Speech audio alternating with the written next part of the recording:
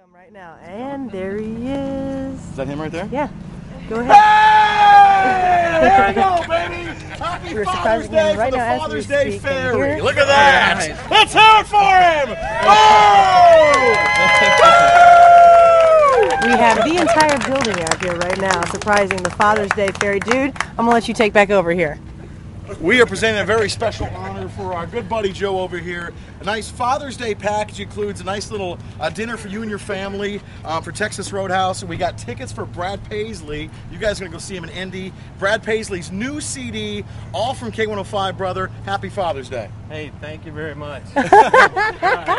He's just surprised and a little shaken. And uh, we've got the letter that uh, all your kids wrote and your wife wrote too. So happy Father's Day, man. It sounds like you're a great guy, and we appreciate you. All you do for your kids too. All right, thank you very much. Yeah, you're Shaking a little, Alberto! Woo! Our daddy is the best because he does everything for us and he is so strong. That's from Joey.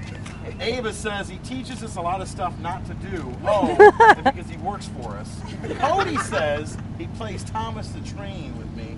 Layla says he's a snuggly bear, appreciates my burps, and made me laugh for my first time ever.